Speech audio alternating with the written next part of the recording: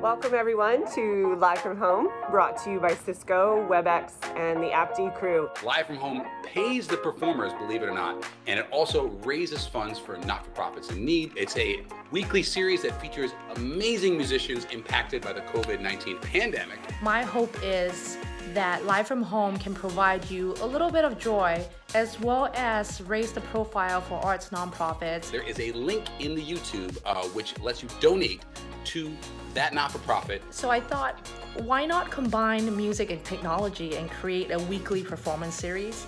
So that's what Live from Home is. Looking forward to seeing all of your faces and all of your music. Um, so thank you, thank you, and join in next week.